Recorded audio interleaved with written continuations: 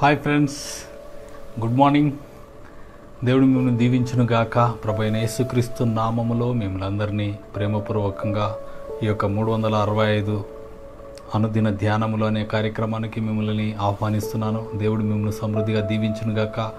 ఈ దినము ప్రభు మనందరితో మాట్లాడుతున్నాడు భయపడుతున్నా దిగులు పడుతున్నా చింతిస్తున్నా అనేక మందిని బలపరచడానికి ధైర్యపరచడానికి నా ప్రభు మన మధ్యలోనికి వేంచేసినాడు. ఎక్కడ ఇద్దరు ముగ్గురు ఏకీభవిస్తే ఆయన అక్కడ ఉంటానని. ఈ యొక్క ఆన్లైన్ ద్వారా మీరు మా నాతో పాటు కలిసి ఉంటున్న సమయంలో ప్రభు మిమ్మల్ని దర్శిస్తున్నాడు. దేవునికి మహిమ కలుగును గాక. దేవుడు గొప్ప అద్భుత ఆశ్చర్య కార్యములు చేసే దేవుడు. ఆయన మనతో ఉన్నాడు మన మధ్యలో ఉన్నాడు. దేవునికి మహిమ కలుగును గాక. ఆయన బలపరిచే దేవుడు ధైర్యపరిచే దేవుడు. భయపడుతున్నావా దిగులు పడుతున్నావా చింతిస్తున్నావా కలవరపడుతున్నావా? అలాగే అనేకమైనటువంటి సమస్యలతో కృంగిపోయావా? దేవుడు నిన్ను లేవనెత్తడానికి దేవుడు నిన్ను బలపరచడానికి దేవుడు నిన్ను ధైర్యపరచడానికి దేవుడు తన మాటలను తెలియజేస్తున్నాడు. దేవునికి మహిమ కలుగును గాక. ఈ యొక్క సమయంలో మనము మరి యొక్క వాగ్దానం ద్వారా ప్రభు ఒక మాటను మనం చూద్దాం. రూతు గ్రంథం రూతు గ్రంథం book of Ruth third chapter eleventh verse. Ruth గ్రంథము మూడవ అధ్యాయము పదకొండవ వచనం చదువుతున్నాను. కాబట్టి నా కుమారి భయపడకము. నీవు చెప్పినదంతయు నీకు చేసేదను. నీవు యోగ్యురాలవని నా జనులందరూ ఎరుగుదురు. దేవునికి మహిమ కలుగునుగాక ఇక్కడ రూతు మనము చూడవచ్చు. ఈ యొక్క రూతు యొక్క స్టోరీ చూసినట్లయితే రో అతి భయంకరమైనటువంటి స్టోరీ చాలా దయానీయమైనటువంటి పరిస్థితి. ఎవరు కూడా దగ్గరికి రానిచ్చేటువంటి పరిస్థితి కానటువంటి దీనురాలు. అలాంటి స్త్రీ ఇక్కడ ఒక గొప్ప స్థితికి ఎలాగూ వచ్చింది. దేవుడు ఎంత కరుణామయుడు ఈ యొక్క ఋతు యొక్క ఆ బ్రీఫ్ స్టోరీని వింటే మనకు అర్థమవుతుంది. దేవునికి మహిమ కలుగును గాక. నాకు దీవెన రావట్లేదు. ఎన్ని సంవత్సరాలుగా నేను ఈ యొక్క పరిస్థితిలోనే ఉన్నాను. అసలు నా నాకు నా పరిస్థితి ఏంటి నా భవిష్యత్ ఏంటి నా యొక్క ఫ్యూచర్ ఏంటి అని అనేక మంది అనేక రకాలుగా భయపడుతున్నారు. అంతకంటే మీ అందరికంటే కూడా భయంకరమైన పరిస్థితి ఉన్నటువంటి ఈ యొక్క రూతును గురించినటువంటి నేను మీకు స్టోరీ బ్రీఫ్గా చెప్తాను. దేవునికి మహిమ కలుగును గాక ఇక్కడ చూసినట్లయితే ఇస్రాయేలు ఇస్రాయేలు ప్రజల్లో ఉన్నటువంటి ఈ యొక్క నయోమి నయోమి అని చెప్పేసి నయోమి ఎలిమేలేకు నయోమి ఎలమేలేకు అనే అటువంటి వారు వీరిద్దరు కూడా వీరిద్దరు కూడా యూదా నుండి యూదా నుండి బయలుదేరి వీరు ఏం చేస్తున్నారంటే మోయాబు దేశానికి వెళ్ళారు.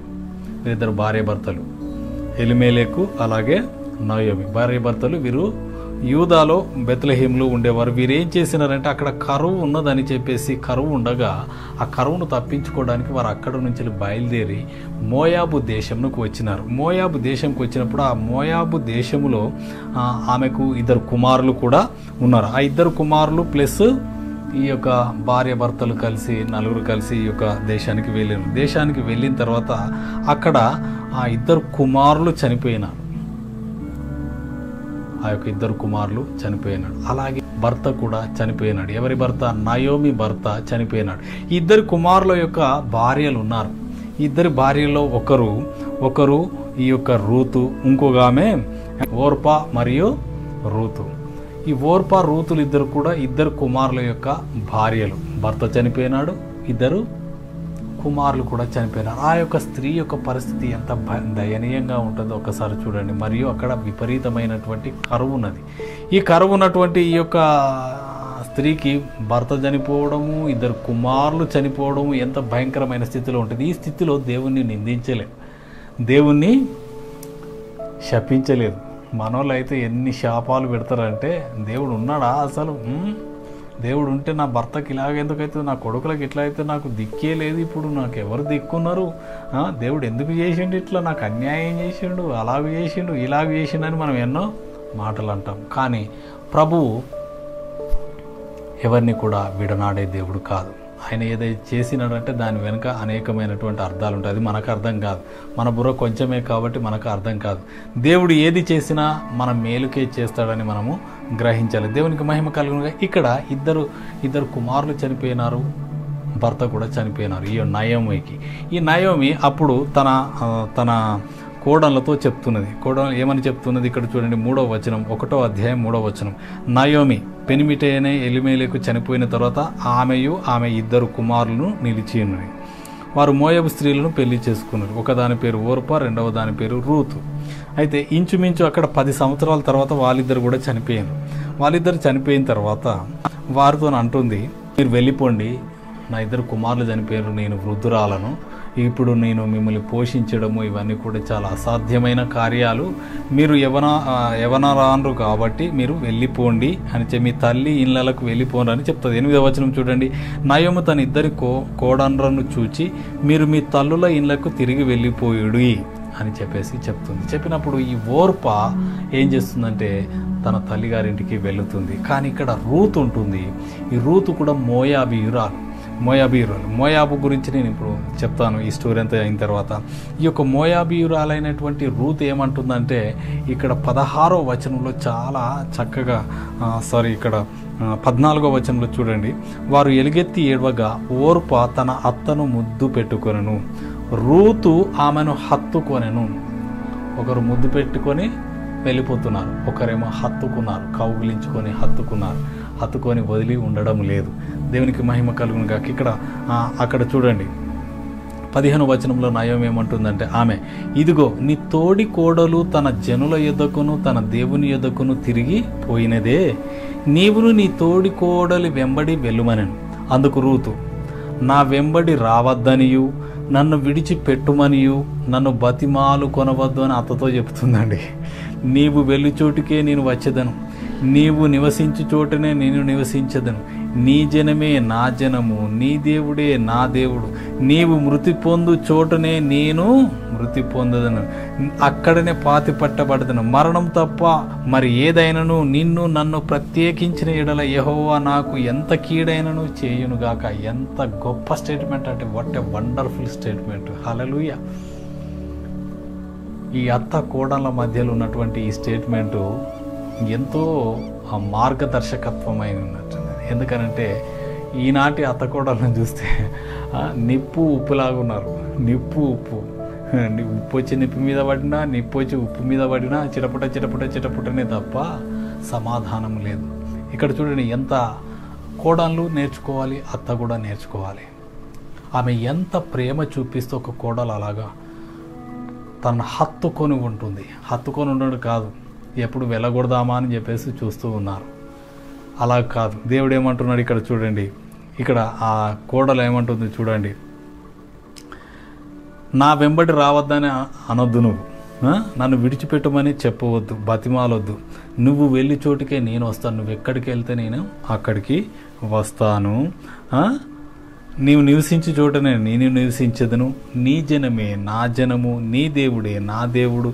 నీవు మృతి పొందుచేటను నేను కూడా మృతి పొందుతాను. నువ్వు ఎక్కడ పాతిపెట్టబడితే అక్కడ నేను కూడా పాతిపెట్టబడతాను మరణము తప్ప మన ఇద్దరిని ఏది కూడా వేరు చెయ్యకూడదని ఒక కోడలు విధవరాలైనటువంటి ఒక కోడలు అనే మాటలండి. ఈ మాట ఎవరైనా ప్రపంచంలో ఇప్పుడున్న కోడలు ఎవరైనా అంటారా? ఇంపాసిబుల్ ఇంపాసిబుల్ అంటే ఇంపాసిబుల్ దేవునికి మహిమ కలుగును గాక. ఆమె నయోమి యొక్క భక్తిని చూసింది దేవుని మీద ఆధారపడడం చూసింది. చూసి ఈమె ద్వారా ఈ యొక్క దీవెన ఇస్రాయేలు దేవుడు అయినటువంటి యహోవా దీవెన పొందుకోవాలని ప్రతి క్షణము ఆమె గమనించింది. గమనించి నీ దేవుడే నా దేవుడు నీ జనమే నా జనము నువ్వు ఎక్కడుంటే నేను అక్కడే ఉంటాను. నా- నువ్వు చనిపోయిన చోటు నేను చనిపోతాను కానీ నన్ను వెళ్ళి వెళ్ళిపోమ్మన వెళ్ళి చెప్పేసి చెప్పినట్టుగా మనం ఇక్కడ చూడవచ్చు. దేవునికి మహిమ కలుగును గాక ఇదంతా అయిన తర్వాత ఇదంతా అయిన తర్వాత వారు మళ్ళీ తిరిగి వారు తిరిగి ఆ యొక్క యూదా దేశానికి వస్తారు. యూదా దేశానికి వచ్చిన తర్వాత అక్కడ బోయజు వీరి యొక్క వంశపు వాడు యూదా గోత్రపు వాడు వంశీయుడు.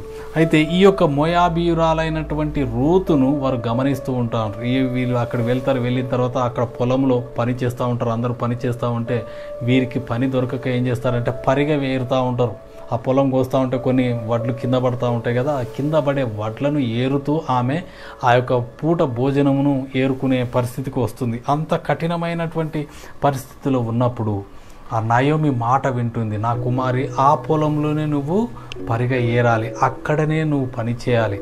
ఆ యొక్క పొలము యొక్క యజమాని మనకు బంధువు అవుతాడు.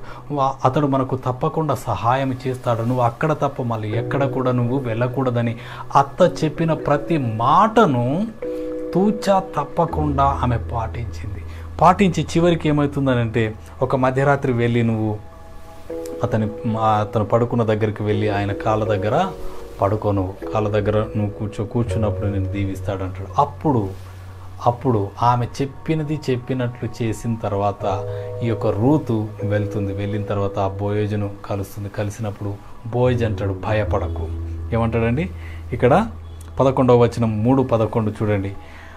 కాబట్టి నా కుమారి భయపడకము. నీవు చెప్పినదంతయో నీకు చేసేదను. నీవు యోగ్యురాలవని నా జనులందరూ ఎరుగుదురు. ఒక విధవరాలు యోగ్యురాలుగా ఎంచబడుతున్నది ఒక అన్య దేశములో ఒక మోయాబియురాలు. మనం ఎలా ఉంటున్నాం? మన ప్రవర్తన ఎలా ఉంటుంది? మన క్యారెక్టర్ ఎలాగో? బయట వారు స్టేట్మెంట్ ఇస్తున్నారు. అది కావాలండి. మనకు మనం చెప్పుకోవడం కాదు. కొంతమంది ఎప్పుడు నేనెవరో తెలుసా? నువ్వెవరో అందరికీ తెలుసు. నీకే తెలియదు దేవునికి మహిమ కలుగును కాక ఆమె ఎట్లాంటిదో ఆమెకే తెలియదు లోకానికి అంతా తెలుసు చుట్టుపక్కల వాళ్ళందరికీ కూడా తెలుసు. కానీ ఇక్కడ లోకమంతా కూడా స్టేట్మెంట్ ఇస్తుంది. నువ్వు యోగ్యురాలవని దేవునికి మహిమ కలుగును అక్కడ ఆమె దీవింపబడము మనం చూస్తాం. ఇక్కడ ఈమె మోయాబుయురాలండి. మీకు ఈ స్టోరీ చెప్తాను. మోయాబియురాలంటే ఈ మోయాబు వంశము ఎక్కడి నుంచి వచ్చిందంటే అబ్రహాముతో పాటు లోతు కూడా ఉన్నాడు. మనందరికీ తెలుసు సుధమ గుమ్మర్రల పట్టణాన్ని నాశనం చేసినప్పుడు ఆ సుధమ గుమ్మర్రల పట్టణంలో లోతు ఉన్నాడు. ఆ లోతు ఉన్నప్పుడు అబ్రహాము బార్గెనింగ్ చేస్తాడు దేవునితో. యాభై మంది నలభై మంది ముప్పై మంది ఇరవై మంది పది మంది ఉంటే రక్షిస్తావు ప్రభు అంటే కనీసం పది మంది కూడా ఆ పట్టణంలో ఉండరు. ఉండనప్పుడు దేవుడు ఆ లోతును లోతు కుటుంబాన్ని బయటికి తీసుకొని వచ్చి ఆ యొక్క సుధమ గుమ్మరల పట్టణాన్ని నాశనం చేస్తాడు. నాశనం చేసిన తర్వాత లోతు గుహలో ఉన్నప్పుడు వా ఆ యొక్క లోతు వంశావళిని అభివృద్ధి చేయాలని కుమార్తెలు అతనికి మద్యము త్రాగిపించి అతనితో పరుండి వారికి సంతానాన్ని కంటారు. మోయాబా అని ఒకరికి ఆ మోరియులని చెప్పేసి ఇద్దరికి. వీళ్ళు వీరిద్దరిని దేవుడు అంటాడు. ఆ రెండు వంశాలను దేవుడు అసహించుకుంటాడు. అసహించుకొని ఎక్కడ కూడా వారిని టాలరేట్ చేయకుండా వారు ఆ వంశాపు వాలి వంశావళిలో ఉన్న వారందరిని నాశనం చేయాలంటాడు. దేవునికి మహిమ కలుగునగాక కానీ ఇక్కడ చూస్తే అదే వంశములో పుట్టినటువంటి వచ్చినటువంటి మోయాబీయురాలైనటువంటి రూతు ఎప్పుడైతే రూతు తన వంశాన్ని తన యొక్క ఆ- ఆ యొక్క సీడును మొత్తం అంతా మర్చిపోయి నయోమిని వెంబడించిందో నయోమి చెప్పినట్లు విన్నదో నయోమి చెప్పినట్లు నడుచుకున్నదో దేవుని కనికరము ఆ యొక్క రూతు మీదకి వచ్చింది. రూతు మీదకి వచ్చి రూతును దేవుడు గొప్పగా దీవించినాడు ఆశీర్వదించినాడు. చివరిగా మీకు ఒక మాట చెప్తాను. యేసుప్రభు వంశావళిలో యేసుప్రభు వంశావళిలో ఈ రూతు ఉన్నదంటే ఆమె ఎంతగా దీవింపబడిందో ఒకసారి ఆలోచించండి. దేవునికి మహిమ కలుగును గాక. ఈ యొక్క రూతు గురించి ఇంకా నేను అనేకమైనటువంటి విషయాలు చెప్పాలి కానీ నాకు సమయం లేదు. రూతును దీవించిన దేవుడు నిన్ను దీవిస్తాడు. నువ్వు అన్య దేశస్తురాలు కాదు రిజెక్ట్ చేయబడినటువంటి ఆ యొక్క జనరేషన్లో ఉన్నదానివి కాదు కానీ యేసు రక్తము చేత విమోచింపబడిన నీవు దేవుని మీద ఆధారపడు దేవుని మాట విను దేవుని మాట చొప్పున నడుచుకొని మనం ముందుకు వెళ్ళినప్పుడు దేవుడు మనల్ని తప్పకుండా దీవించి ఆశీర్వదిస్తాడు. దేవునికి మహిమ కలుగునుగాక. ఆయన మనల్ని దీవించవలనని శ్రేయస్కరమైన ఆశీర్వాదములు చేతబట్టుకొని మన వద్దకు ఆయన వేయించేయుచున్నాడు దేవునికి మహిమ కలుగునుగాక. మనం ప్రార్థన చేసుకుందాం. దేవుడు మనల్ని గొప్పగా దీవించబోతున్నాడు. థ్యాంక్ యూ లాడ్ నీకే వందనాలు స్తోత్రాలు చెల్లించుకుంటున్నాం. ఈ యొక్క సమయంలో రూతును మీరు ఎలాగో దీవించినారో తనను బట్టి ఆమె యొక్క కమిట్మెంట్ను బట్టి మీరు దీవించి ఆశీర్వదించిన. ఆమె నీ మీద ఆధారపడిన విధానమును బట్టి మీరు ఆమెను యేసుక్రీస్తు వంశావళిలో తెచ్చిన గొప్ప దేవ ఎంత గొప్ప దేవుడు అవుతాను నీకే వందనాలు చెల్లించుకుంటున్నాను దీవించి ఆశీర్వదించండి. మా ప్రియులు ఎవరైతే ఈ యొక్క సందేశం వినిచున్నారో వారితో మీరు మాట్లాడండి. వారిని బలపరిచి ధైర్యపరచండి. మీ అద్భుత ఆశ్చర్య కార్యములను జరిగించి వారికి రూతును ఎలాగో దీవించినో వారిని కూడా దీవించి ఆశీర్వదించి మీరు మహిమ పొందమని ఏసునామను ప్రార్థిస్తున్నాను తండ్రి. ఆమె ఆమె God bless you. God bless you. దేవుడు మిమ్మల్ని సమృద్ధిగా దీవించును గాక